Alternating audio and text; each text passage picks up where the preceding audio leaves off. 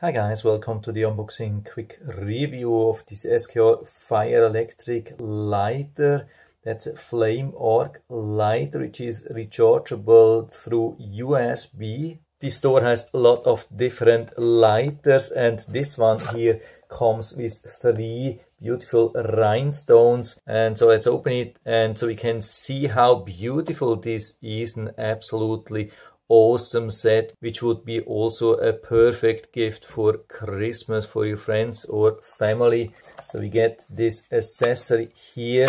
That's of course a standard micro USB charging cable and here we have the lighter nicely protected and so you can see how beautiful made this is. And here you can see also the stones, really nice, beautiful stones here in this gold application. Of course, these are not real diamonds, but they look like they are really beautiful. According to the description, the color is icy black. Maybe we could also call it gunmetal or so.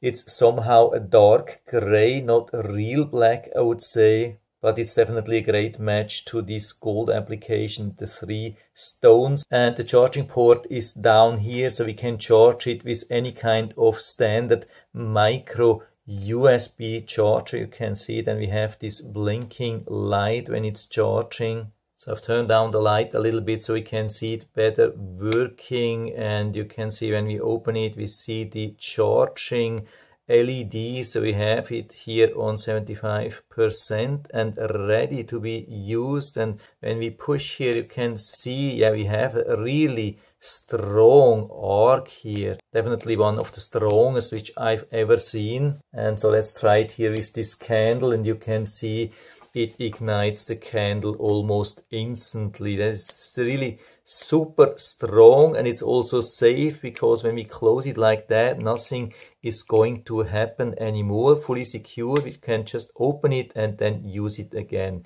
Yeah this is as good as it gets. Absolutely perfect strong beautiful. And so I can give you full recommendation. And so if you're interested I'll put down the link to the Amazon listing down into the description so you can check it out and order it from there if you like it. And I hope able to help you a little bit with this video. If you have questions or comments just write to the comment section below and I'm always happy to talk about these things. And if you like the video give me a thumbs up subscribe my channel. Thanks for watching. See you next time